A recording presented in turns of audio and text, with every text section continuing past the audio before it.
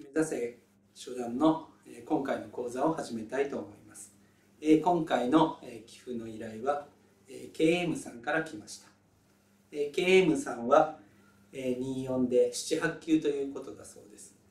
最近はその辺りで伸び悩んでいて、まあ、あの振り飛車の対策に対してこう居飛車で指す場合の悩みでちょっと困っているということを送っていただきました、まあ、ただ今回取り上げるのは、えー、相居飛車横歩取りの将棋になっております、えー、それでは始めたいと思います、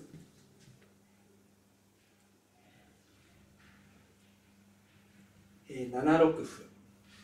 はい先手が KM さんですね。8四歩。2六歩。3四歩。2五歩。3二金。7八金。8五歩と。まあこれは居飛車同士のこう出だしでして、まあ、角道をこうお互いに付き合いながら飛車先を伸ばしていくという横歩取りの戦いですね。結構激しくなるので横歩取りはですね勇気を持って戦うのが重要なポイントとなっております。で2四歩。同歩同飛車。8六歩同歩同飛車。で3四飛車と横歩を取ります。でこの時に実戦は3三角とあった上がったのですがこれが非常に大事な手でして、え、これ放っておきますと、えー、2二角成と取られましてこれ銀で取っても金で取ってもですねこう取った逆の駒をこの飛車で取られてしまうのでこれ後手を持った時には気をつけてください。はい実戦は3三角と上がりました。まあ、これによって交換しても同桂ですと同金と取ってですね、えー、先手の攻めは無理となります。で3六飛車。まあここら辺は定石通りですね、はい、3六飛車に8五飛車。まあ、横歩取りこう8五飛車戦法という戦法ですね。で、まあ、これに対して普通はですねこう8七歩と受けたりえー、こう2六飛車とですね戻しておけばごくごく普通の形になるんですが、えー、今回はですね3三角成と取りました。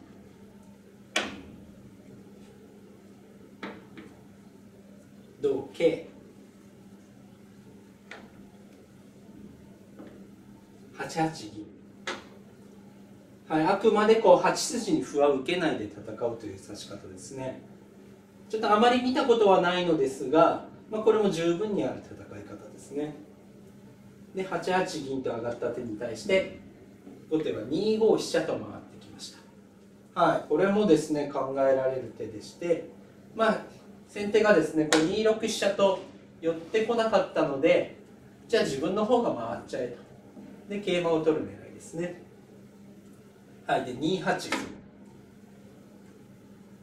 8五飛車。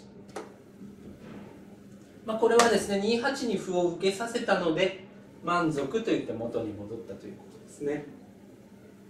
はい、8五飛車に対しましてえ5八玉。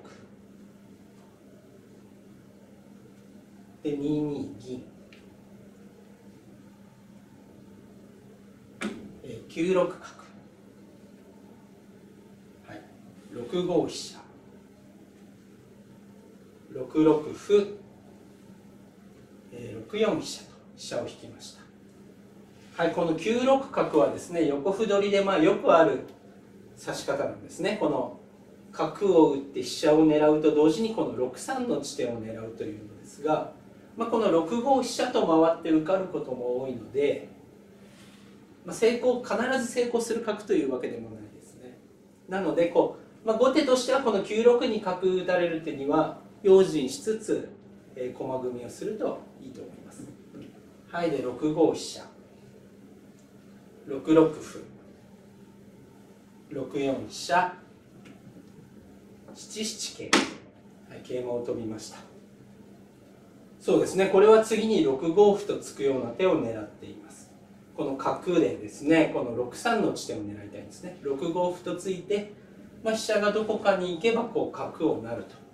いうのを狙っております。で6二玉。はいそうですね。これは6三の地点を守った一手なんですね。ただしこの6二玉という手はですね横歩取りの戦いではちょっと危険ですね。これなぜ危険かと言いますとこう6三の地点を角で狙われているのでこう玉がその地点に近づくというのはここら辺で戦いが起こりますので、まあ、巻き添えになってしまう可能性が非常に高いんですね。なので、はい。まあ、6二玉と上がるところでは一般的なのはこう7二金と金を上がる形ですね。金開きという形なんですけども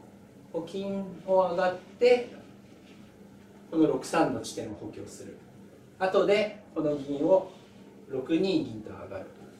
こんな感じで戦った方がこの6三の地点をしっかり守れたんじゃないかなと思います。はい実戦は6二玉と上がりました。そこで6五歩。5四飛車。はいそうですね。5四飛車はいい逃げ場所ですね。あの先手の玉の頭を狙っていますので例えばこう6六飛車と回ってですね6筋を狙いに来たとするとこの飛車がここ5七の地点に効いてますので例えば4五桂というふうに桂馬を跳ねて5七の地点を狙う手もありますし他にはですね後手も角を持ってますので8四角と打ってこう飛車取りと5七の地点を狙うなんていう手も出てきます。なので、はい、この5四飛車というのはとてもいい逃げ場所ですね。で実戦は5六飛車と1回ぶつけました。そうですね強気ですね。この飛車はどういうことかっていうと例えば同飛車同歩と飛車交換をしますと、まあ、あのお互いに飛車は持ち合っているのですが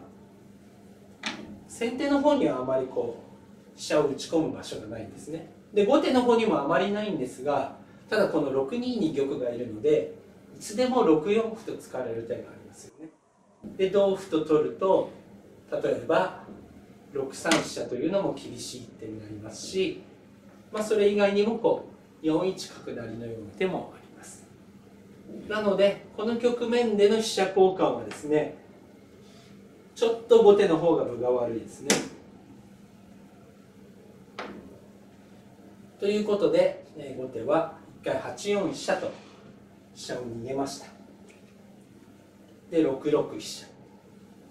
はい、この5筋から飛車をいなくさせてから6六に回ったんですね。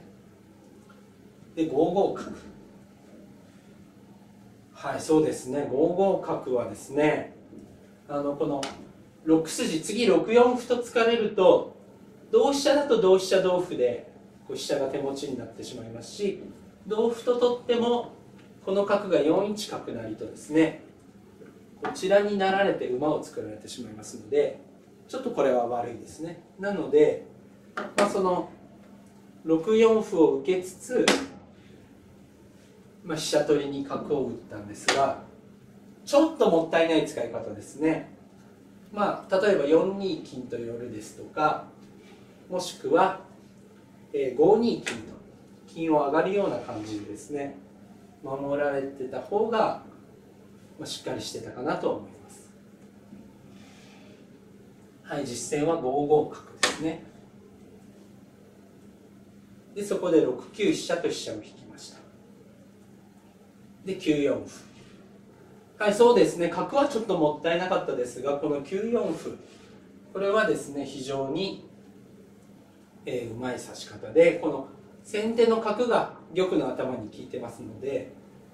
まあ、その角をどかしてしまおうという手ですねはいただここで先手は5六歩とですね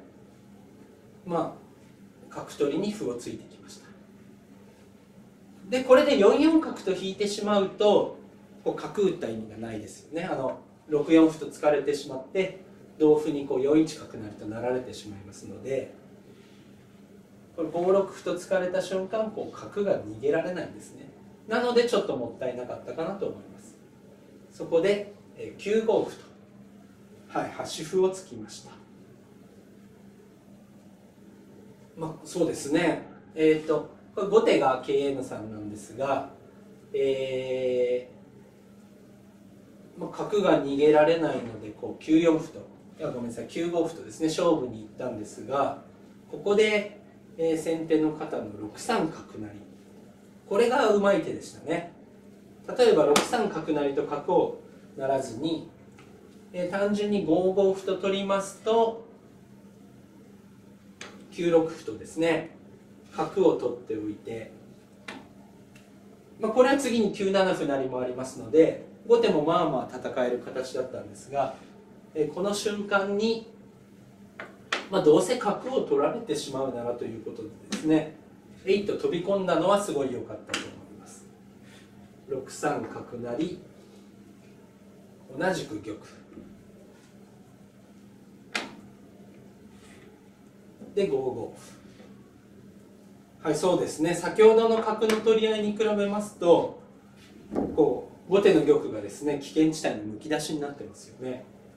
これは後手の KM さんもちょっと困ったんじゃないかなと思います。これ次に6四歩と突く手やもしくはですね角を持っているので4一角と角を打たれて王手金取りがかかってしまいますのでちょっと苦しいですね。はいで実戦はですね、えー、今あの5五歩とですね先手が角を取り返した局面なんですが3四角と打ちました。はいこれはですねこの金取りとして、まあ、4一角やこう6四歩が来る前に後手から反撃したいという狙いですね。ただですねこれ3四角と打つ狙いこの金取りですね。玉の小瓶を狙いつつこう金を攻める狙いで厳しいんですがどうせなら2三から打った方が得だったかなと思います。これどういうことかと言いますと後でこの飛車の利きも自由ですしあと4一角と打たれた時に3四に打ってやるよりは2三にいた方がですね王手金取りが未然に防げてますので打つなら2三金に紐をつけた方がより良かったですね。はい、で実戦はですねこの6、えー、3四角に対して6八玉と先手の方は寄りました。そうですねこの6八玉と寄ってもらってえー、後手の KM さんはですねほっと一安心ですねここ実はですねこの金取りを無視して一回6四歩と突く手がめちゃくちゃ厳しかったんですねでこの6四歩に対しましては例えば玉が逃げる。5二でも7二でも。玉が逃げると、えー、6三歩成とですね。と金を作られてしまいます。これはかなり損してますよね。と金ができた分先手が良くなってます。なのでこう玉が逃げてくれるんであればと金を作ってさらに玉が逃げた後にこの金取りを防げば先手がいいですしかといって6四歩に対しまして同飛車と取りますと同飛車同玉6五飛車と飛車を打ちますとまあ、これは王手でして7四玉と逃げても6一飛車成とですねこう金を取った手が、まあ、詰めろですね。例えばこれに対しまして7八角成と、えー、後手も金を取ったとしてもこれ実はこの玉が詰んでしまうんですね、えー、こう6五角と打つ手がいい手ですね。後手の玉は8三の方に逃げたがってますので8三に逃げられないように角でこういうラインで利かせておくんですね。で8四玉に8五歩9三玉。で角が効いてますので、まあ、これどちらから打ってもいいですね8三金9四玉8四金で詰みとなります。というわけで、えー、こう3四角と角を打ったのですが実はこの局面は大ピンチでして6四歩と突かれてたらちょっと後手が勝てない局面だったと思います。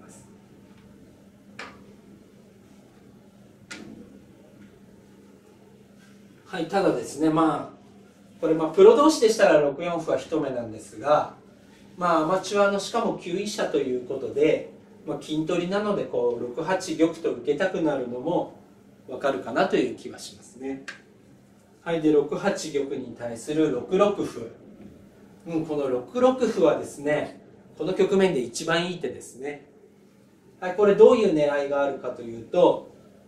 まあ、次に7八角と角を切る手も厳しいのですがこれ単純にですね次は、えー、6七歩成とと金を作る手が厳しいですね。でこれは取る一手同金と取るようにないんですがこう飛車が効いてるので8八銀飛車成と銀を取れば後手の勝ちとなります。はい、やっぱりこういう角筋とタレ歩っていうのはすごい厳しいですねこれは一番いい手だったと思いますはい。で実戦はこれに対しまして8五歩と受けました、まあ、これはですね今のこう8八飛車成と銀を取る手を防いだ手ですね。でこれに対しまして4四飛車。はいこれは先手で飛車を成ろうということですね、まあ、先手からは後手が2三ではなく3四に角を打ったのでいつでも4一角という手はあるのですが、まあ、これ今すぐ打ったとしても玉が逃げられて金を取った瞬間に飛車が成られてしまうと先手の玉もかなり危ないですので、うん、これは今のところ4一角を打つ暇を与えていませんね。で実戦は4八銀と飛車が成る手を受けました。そこで後手も5二玉と引きましたはい、先ほどのですねこう6四歩と突かれて一気に寄せられてしまう局面から考えると後手としてはうまく収めたかなという気がしますね。後手はこう危ないところがなくなった上に6六歩や3四角がこうよく効いてますので勝ちやすい局面になってますね。はいで5二玉に先手は7九玉と玉を引きました、まあ、これはですね、まあ、危険地帯から遠ざかったというと同時に次にこの飛車で6六飛車とですね歩を払ってしまおうという狙いがあります。そこで後手は7八角成と角を切っていきました。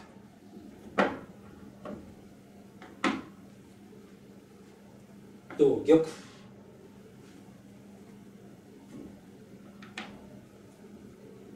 で5六金。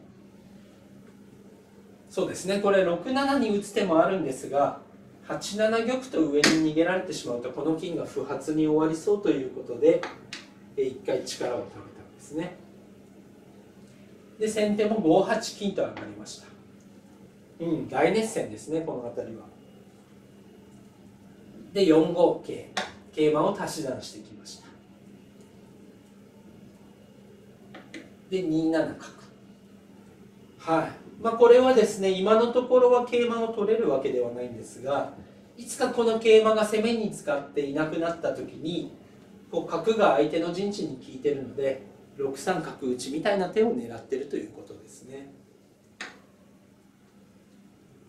はいで6七歩成。同金。同金。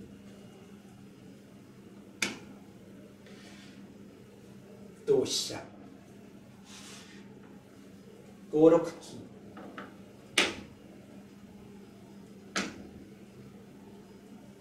うん、そうですね、まあ、桂馬を利用して、まあ、いやらしく攻めるということですね。で5六金に対しては6九飛車と逃げました。で8六歩。はいこれは玉の逃げ道を消したんですね。まあただですねちょっとあの持ち駒がなくなってこう攻めが細いので、まあ、こういうところは勝っても負けてももう5七桂成とですね勝負に行った方がいいかもしれないですねこう6三角打ちみたいな手はあるんですが4二玉と逃げておけば金1枚ですと4一に打っても3三玉と上に逃げられますのでこう桂なってこう飛車がなっていくという攻め合いを目指した方が、まあ、いいかもしれないですね。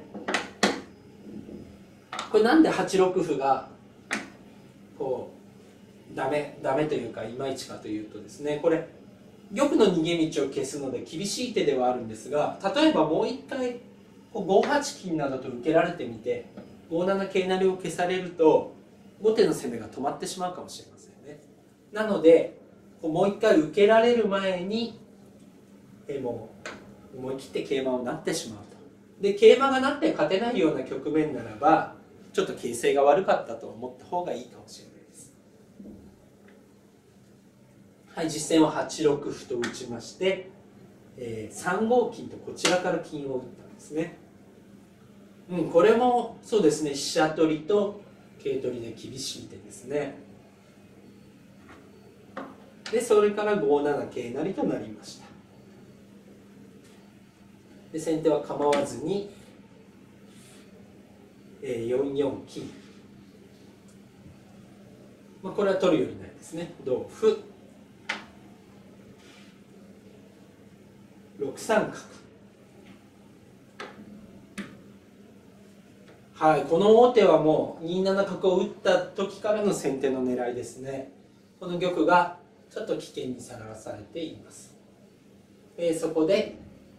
4三玉と逃げました。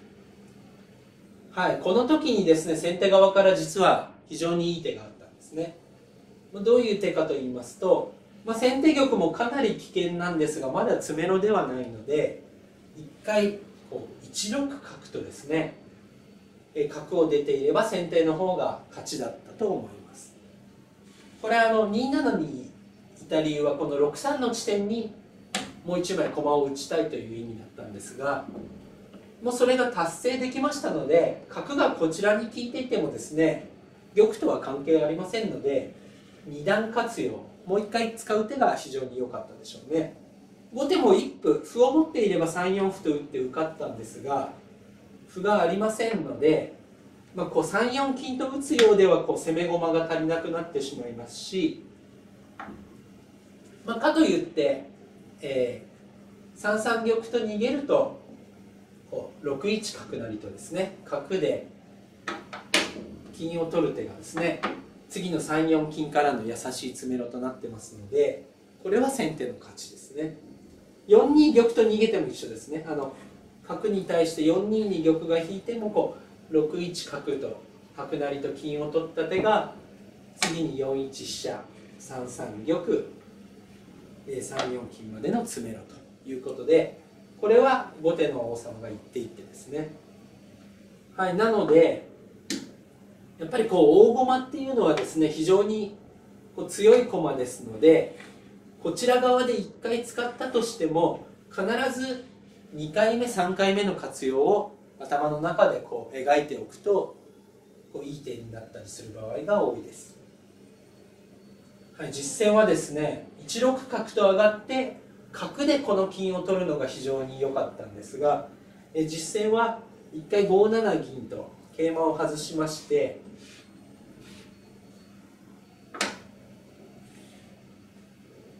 これ取る一手ですね。同金。でこの瞬間に4一飛車とですね飛車でこの金を取りに行ったんですね。ただ角で取れたのをこう飛車で取りに行くっていうのはちょっともったいないのでうんここら辺でちょっと後手としてもこう混戦模様というか逆転模様になってきたかなと思います。で実戦は3三玉と逃げて、えー、6一飛車成とですね飛車で金を取りました。はい角で取ってればここに3四金と先ほど打てたんですが飛車で取ったためにこの玉自体は今のところ詰めろでもなんでもなくちょっと安全なんですね。なのでこの瞬間え後手にチャンスが来ました、はい、実戦は5八銀とですね KM さんがほっと一息で攻めに回ったんですね。でこれ飛車を上に逃げたとしても6七金打から飛車を取られてしまうので実戦はこう3九飛車とですねこちら側に逃げたのですが、えー、6七銀成8九玉、えー、7八金。9八玉。8八金。同じく玉。8七銀。8九玉、えー、7八成銀までの詰みとなりました。はいそうですね。あの KM さん。後手を持っていたんですが、まあ、結果的にはこう最後先手玉を詰まして勝ちとなったんですが途中は結構ヒヤヒヤでしたね。あの9六角の攻めはうまく角成りを防いで守ったんですがやはりですねこの玉が6二玉とですねこう角の狙っている場所に近づいたのがですねやっぱり攻めの目標に玉そのものがなってしまったのでちょっと危険でしたね、まあ、ただ途中途中での指し方は非常にうまくてあのこの3四にいた角で7八金の狙いつつ先手の玉に利かせたりですね。6六歩と垂らした手も非常に良かったですし随所にいい手はありましたのでもっともっとこう大駒の活用を目指す角を上手に使う飛車を上手に使ったりですね。あとは守りをしっかりするようになると初段も近いと思います、えー、今回は以上です。